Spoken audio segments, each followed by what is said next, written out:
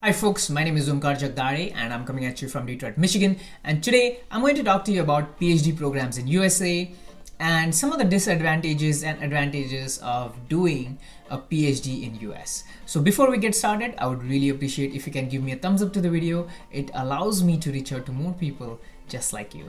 So let's jump into the topic. Before I say anything, I just want to let you know I do not have a PhD in um, PhD in US. So um, if you think maybe I'm not qualified to give you knowledge on this, so you don't have to listen to me, that's totally fine. But uh, but I, I do have some thoughts about if you should do your PhD in US or should not. So let's talk about that. Number one, how long does the PhD take? So a normal PhD program in US will take about four and a half to five years if you haven't done your master's in US. So that's the number one thing so along this period of time, um, the biggest advantage I see for a PhD in America is your education in US is going to be free. Most PhD programs are fully sponsored and they also pay you a tuition um, or a stipend towards your program. So every month you'll make about 1,500 to $2,000 towards your living expenses, um, you should be able to do much well with that money. So if you have financial issues that don't allow you to come to US and pay for your masters or you don't have enough money to take loans, I think PhD is a great idea because you will be basically compensated for your entire five years of studies.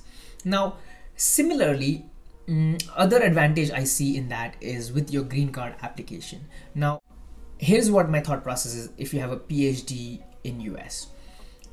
So there is something called an EB1 category. So if your PhD program and the work you have done qualifies you for this EB1 category, you don't have to go through something called a perm application and that allows you to get your green card much faster. Also, the amount of time you have to wait for green card is usually lesser compared to EB2 category, EB3 category people who are applying for green card. So I see this as one of the biggest advantage of doing a PhD. But understand one thing, not all PhDs qualify for this program. So do your research on that. Now, income. So here's what I know about let's talk about a little bit about incomes when you graduate with a PhD. So to be honest, from my experience, I have not seen PhD candidates make significantly more income than masters or undergrad students. Um, now, that may be my experience. So, for example, I had an undergrad degree and I had two years of experience when I started with my company. And I know a PhD candidate who had just graduated and started working at my company. We had the same salaries as our starting salaries. So, if you think about it, if that person did all this song and dance for four to five years and they're getting the same income as I am with only a two years of experience after my bachelor's, then then something is missing. You know some the, the the dots don't connect. So the way i look at it is i feel that maybe there is not a significant amount of advantage of doing a phd towards your income.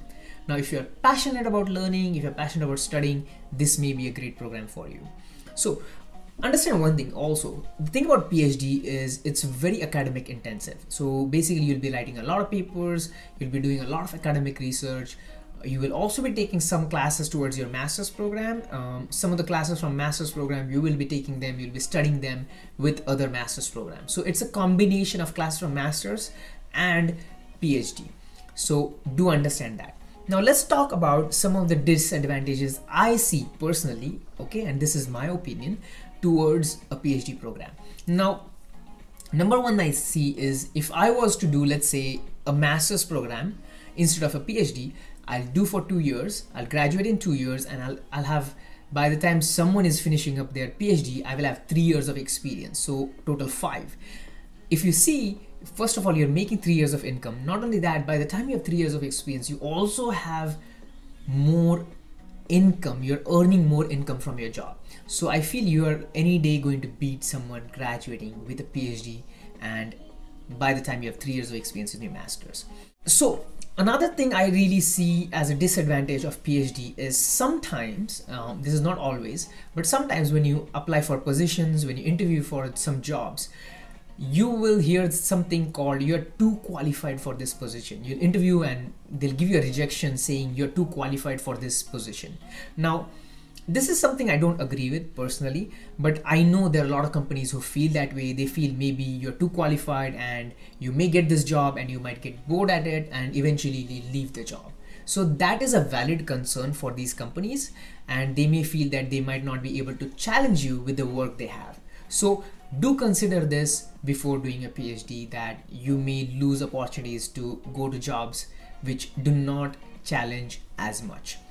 Another thing I really see as one of the biggest um, disadvantage of doing a PhD degree is over a master's degree is first of all here's the thing if you do a master's degree and you will get three years of STEM um, you get one year of STEM and you get two years of STEM OPT. So let's say you get three years of OPT time.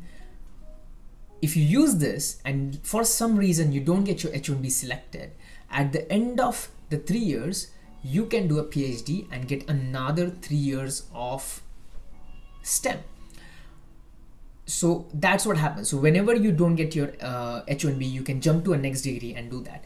With phd what happens? If you don't get that you'll have to go for a postdoc. Now depending upon your postdoc it may be another four to five years. Um, not sure how what kind of opportunities you have in postdoc. You have to understand what kind of postdoc degree you'll be doing. So it's a lot of research involved in that. But here's the thing you may also get another so once you do your postdoc you might also get three years of OPT time. But this all depends upon if you really want to do your postdoc. Do you really want to go that deep into your subject? For example civil engineering i don't know a lot of people who do postdoc in civil engineering. If you are in medical field that may seem possible. I have friends who have done cancer research and they're doing postdoc in that but that's totally different medical totally different than the normal um, engineering and science degrees. I think that's what I had for you. If you have any questions, put in the comment section. You can connect with me on my Instagram at Omkar. Um, otherwise, I had a great time talking to you. I'll see you in the next video. Bye.